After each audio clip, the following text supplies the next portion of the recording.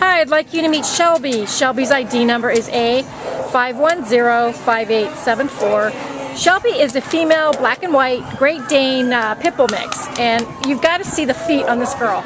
They're huge. I've never seen feet like this. she's one year old, so she's still a puppy. She came in as a stray from La Puente on August 29th, weighing 56 pounds. And uh, Jana, what else do you want to say about her? Oh, she's just a goofy, loving, like gregarious girl. She wants to say hi to everybody, people, dogs. Right now she's checking out who's walking by. she loves everybody. She loves everybody. She loves giving hugs. She loves cuddling.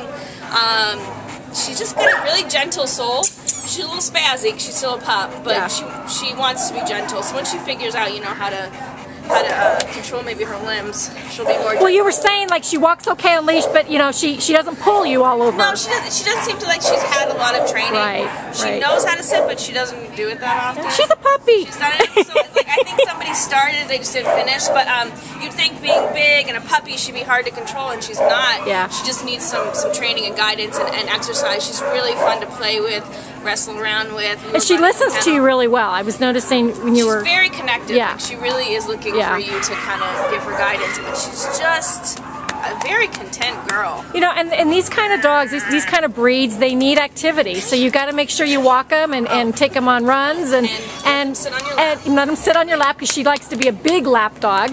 Um, I don't think she's a purse dog, a little too big for that. But come on down to the Baldwin Park Shelter and meet Shelby.